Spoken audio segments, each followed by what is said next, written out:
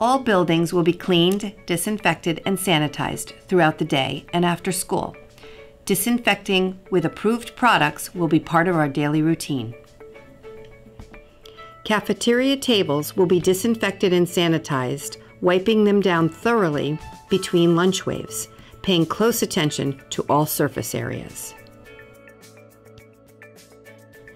Bathrooms will be disinfected and sanitized multiple times throughout the day, including toilets, toilet flushers, and door latches.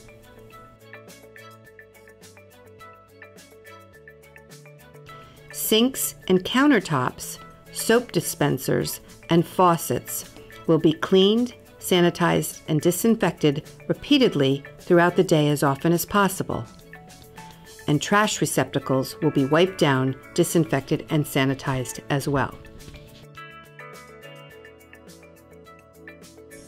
Throughout the day and several times a day, our custodial staff will be cleaning, disinfecting, and sanitizing classrooms each day, paying close attention to desk surfaces and chair backs. Doorknobs, light switches, and all touch points will be sanitized and disinfected throughout the day as often as possible.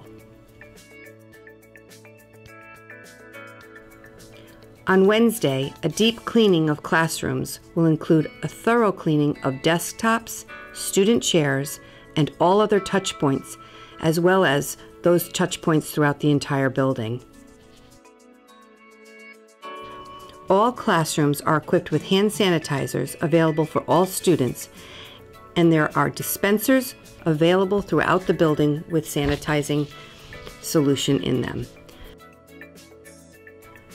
All playground equipment will be disinfected and sanitized several times throughout the day.